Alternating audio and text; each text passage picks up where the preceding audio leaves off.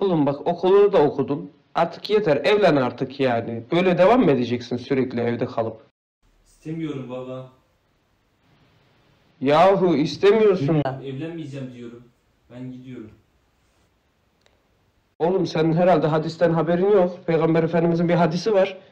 Evlenen iman yarısını kurtarmıştır diye. İstemiyorsan sen bilir.